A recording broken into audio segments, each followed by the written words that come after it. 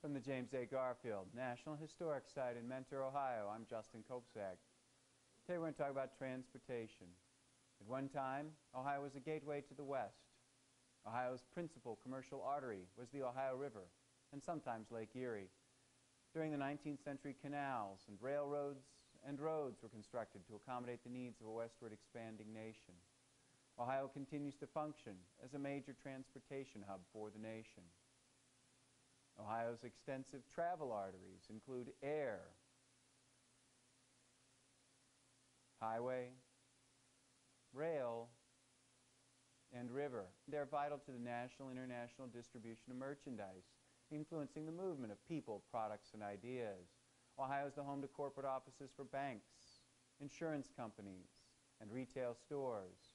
People from around the world buy Ohio products and materials such as chemicals, rubber, agricultural products, trucks, and stone. From the James A. Garfield National Historic Site in Mentor, Ohio, I'm Justin Kopczak. Thanks for watching.